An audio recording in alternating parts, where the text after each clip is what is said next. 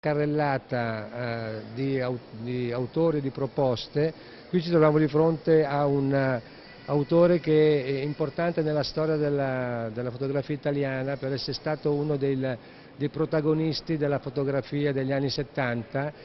eh, momento in cui eh, la fotografia in, iniziava ad, essere, ad affacciarsi in Italia al mondo del, dell'arte contemporanea. Infatti si dice essere stata eh, sdoganata la Vaccari durante la Biennale del 70 o 72 o 70, non ricordo esattamente, con un bellissimo lavoro. Diciamo che Altamira fa parte diciamo, quella, di quel piccolo drappello di attori di grande qualità che da allora hanno iniziato a utilizzare la macchina fotografica come diciamo, strumento espressivo di arte contemporanea. Questo è una, uno stand eh, particolare in quanto tratta della, della, fotografia anonima e quindi è quella fotografia a cui si dà una valenza e importanza eh, attraverso la capacità eh, propria di poter attribuire a questa immagine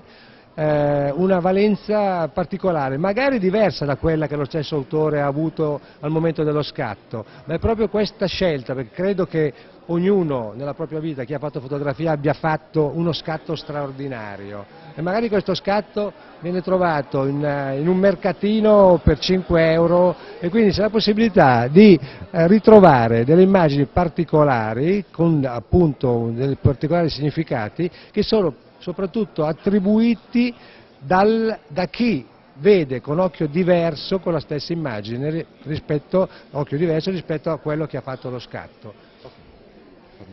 Fondazione Rava. Buongiorno, sì, eh, siamo qua per la mostra in realtà di Albertina D'Urso che è venuta con noi ad Haiti e è venuta sia prima del terremoto che dopo e adesso qua abbiamo le foto dei bambini che ha fotografato vittime del terremoto in quanto amputati però questo supporta molto il nostro progetto delle protesi che abbiamo lì e quindi è un momento bello per tutti di vedere com'è la realtà di Haiti ora e di tutto quello che si può fare ancora. Allora, siamo con Franco Fontana. Eh, sono felice di esserci. no, dicevo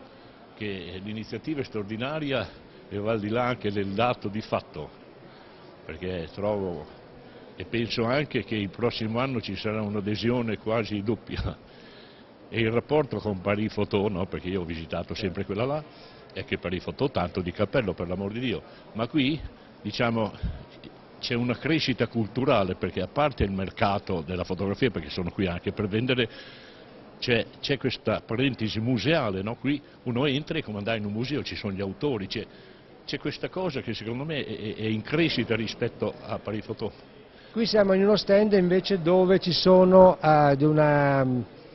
galleria svizzera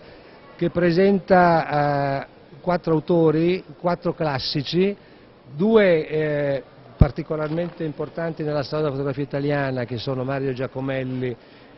quello di cui parlavo prima, il poeta, e eh, Luigi Ghirri,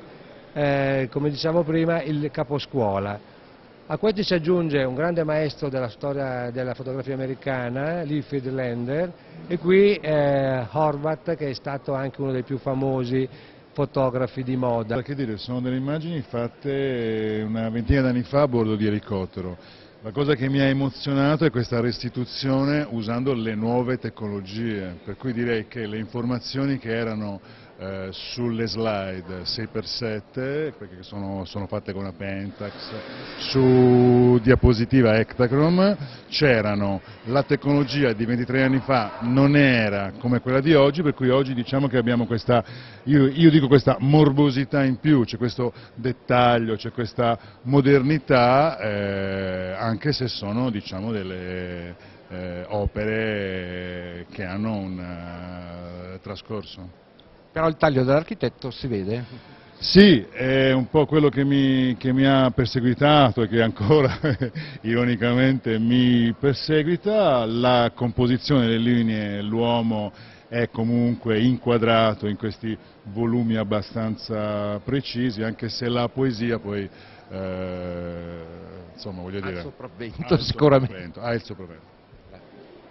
Passiamo dai, dagli autori, come diciamo prima, di grande eh, molto noti al, pubblico sicuramente perché appunto dei classici, a degli autori comunque altrettanto interessanti il profilo della qualità, con una storia dietro le spalle ovviamente diversa, eh, che però hanno delle caratteristiche di grande interesse. Passiamo sul bianco e nero, quindi diciamo, nella, nella, varietà delle proposte eh, sono le più disparate, il bianco e nero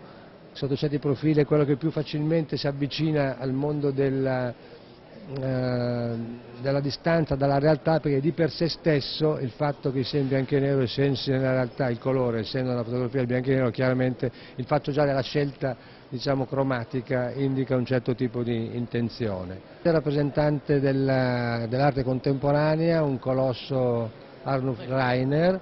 che eh, interviene facendo diventare ovviamente opere uniche eh, le fotografie su cui lui appunto opera il suo intervento. Eh, Iner Serpetite è una ragazza di lituana di 28 anni che vive a Londra, fa un, un racconto sulla memoria del suo paese. In Italia non sappiamo, eh, l'occupazione sovietica è stata molto dura nel suo paese e lei racconta tutto quello che hanno dovuto soffrire i cittadini suo, della Lituania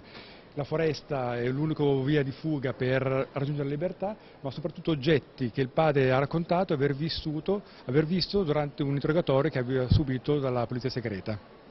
Finito?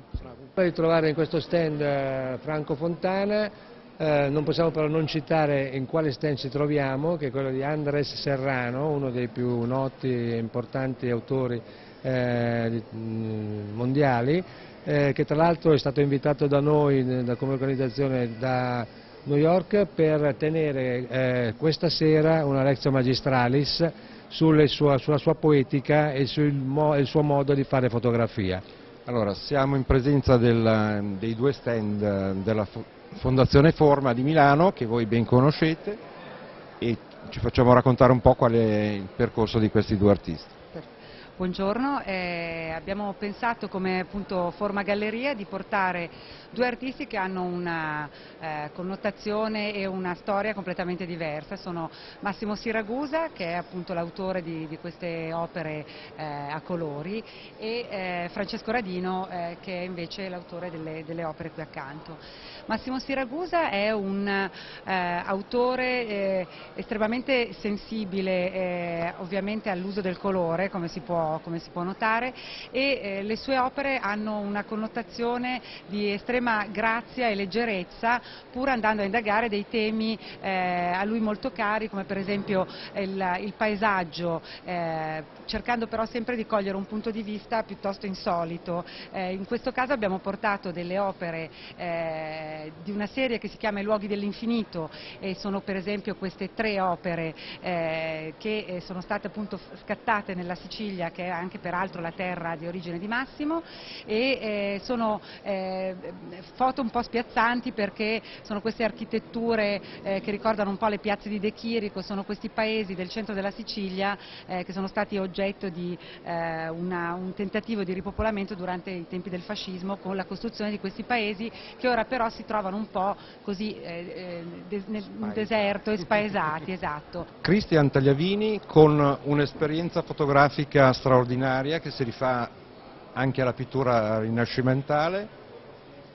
Sì, eh, diciamo che questo è il mio ultimo lavoro, è un lavoro eh, che si ispira a due autori, uno è il Bronzino e l'altro è Modigliani per i colli allungati, eh, poi questo è un lavoro precedente che è Dame di cartone, è un lavoro con questo è un primo trittico di nove fotografie che riprende il cubismo, cioè il XVI secolo, e per finire con eh, il fantastici e favolosi mondo degli anni 50.